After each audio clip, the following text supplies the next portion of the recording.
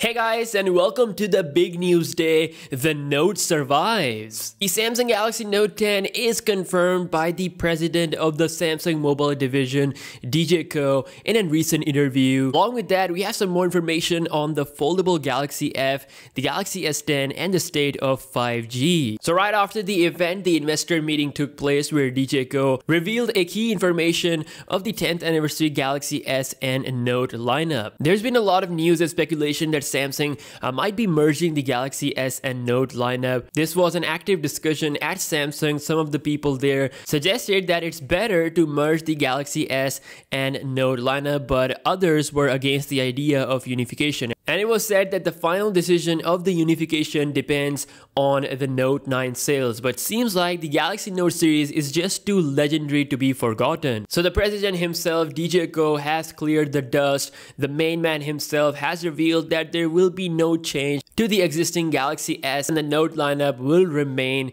the same, meaning there will be a 10th anniversary Galaxy Note 10. That is amazing news for the Note fans. Samsung will continue to add more features uh, to the S Pen and make the Note 10 even more better and make it worth the extra money over the Galaxy S10 family. Although the line of difference between these two lineup is getting small and small every year, but hopefully Samsung will provide something meaningful with the Note 10 over the Galaxy S10 Plus. So Note 10 is not the only thing that is confirmed. Uh, the Galaxy S10 is also confirmed, yet the name is confirmed as well. Uh, there's been a huge discussion regarding the state of 5G. Samsung will be launching its first ever 5G phone in the month of March of next year. And it's not going to be the Samsung Galaxy S10. DJ Koh has explained that the Galaxy S10 won't be the first 5G Samsung phone. Instead, that honorable feature will be given to another Samsung phone releasing in early 2019. And the reason for that is it's unreasonable to put the 5G function on a large-scale flagship model, large-scale flagship model without a perfect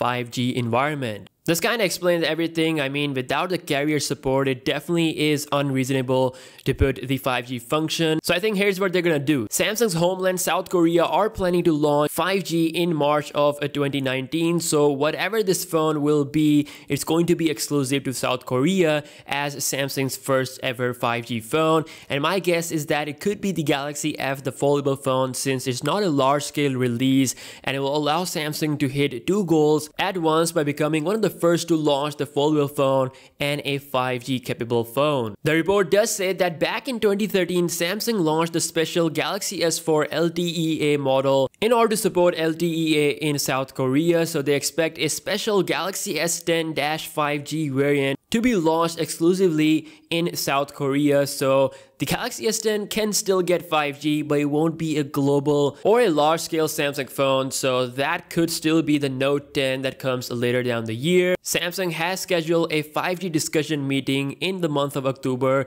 with one of the carriers in United States. So uh, we'll see how that will go. Samsung also officially announced the Exynos 5100 modem, which is the world's first ever 5G capable modem, uh, expected to be inside the Exynos 9820 processor. The heart of Galaxy S10 is going to be the same processor that will be driving the Note 10 as well. The speeds are said to be 1.7 times faster than the previous Exynos modem. They have also confirmed that this modem will be available to customers by the end of 2018. So again, you can expect Samsung to put this in the Exynos 9820 processor. Also regarding the Galaxy S10, a quick change with the triple camera scenario on the S10 lineup. Now both S S10 and S10 Plus will be supporting triple camera lenses on the back, while the S10 Lite or, or the flat S10 will be having two cameras with a flat infinity display. Uh, it's not a very light phone to be honest. I mean, it's having the best of everything minus the in-display fingerprint scanner and the triple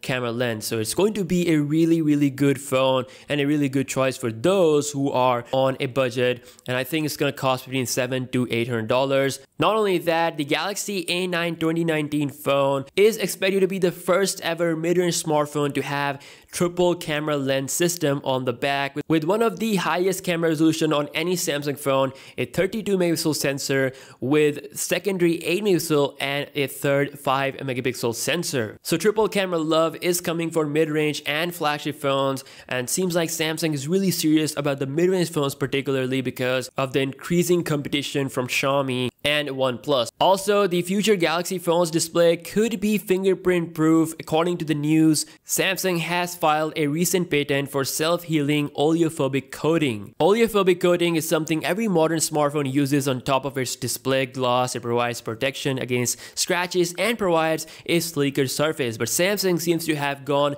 to the next level with its self-healing oleophobic coating, which will prevent fingerprints for a longer period of time and will add more durability against scratches. They also recently announced their unbreakable display, so combined with this, the level of durability will be amazing for the future bezel-less Galaxy phones. So that's all we have on the latest Samsung news. Guys, the Galaxy Note 9 is coming today. I know I'm getting a lot of questions about it. It's coming today. The coverage will start today. And there are a bunch of other videos that I'm going to be doing pretty soon in the coming days. So make sure to subscribe uh, for all that fun coverage. I would say long live the Galaxy Note series. I mean, it's too legendary, guys, to just be forgotten. The Galaxy F, the foldable phone, is right around the corner and could be the first 5G phone, or we could see a separate Galaxy S10 5G variant in South Korea. So the best year for tech is coming. Let me know your thoughts down below in the comment section what you think about all of this and I will see you guys in the next one. Peace out.